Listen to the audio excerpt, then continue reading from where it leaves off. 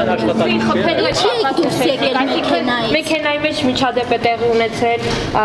մի փոքր մանրամասնիկ մեքենայի մեջ ինչ է տեղի։ Ասպոզակցություն ձեր կյանքին մահվան սպառնալիք եղել է։ Սուպերը կհրապարական այս պահին ամենայն դեպս մեղադրանքը առևանգման համար է, այն մյուս մյուս հանգամանքները որ տեղի են ունեցել, քննչական կոմիտեն հարկ չի համարել դրանք որպես մեղադրանք ներգրավելու գործի Մենք մեր վերաբերում է մնացածի դատական process ինչ որ փուլի կարծեմ ցուցմունքները Ինչու եք դուրս թռել մեքենայից։ Ինչ ինչ ստացվեց, որ դուրս թռաք։ Մի փոքր կմանրամասնիկ Ինչու ամեն դեպքում ինչա տեղի ունեցել։ ըստեյցան հարգել են ես ես դուրս թռա մեքենայից այն պատճառով որ ես չէի կարողանում այլ կերպ դուրս գալ մեքենայից Բայց ինքը կարող էր այդ պահին արգելակել բանուկ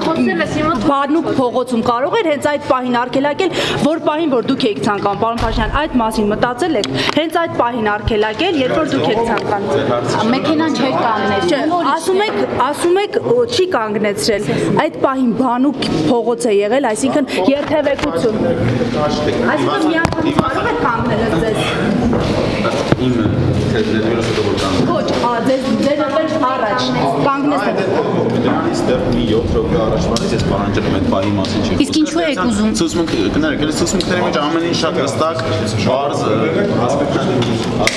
Մի բան ճշտենք, Գայանե Մարտիրոսյանը ձեզ ասել է եկեք նստենք գնանք երավլուր տեսեք թե ձեր հայրը ինչ է բերել մեր գլխին կամ ինչ է արել։ Ասել է այդպես բան։ մասին ես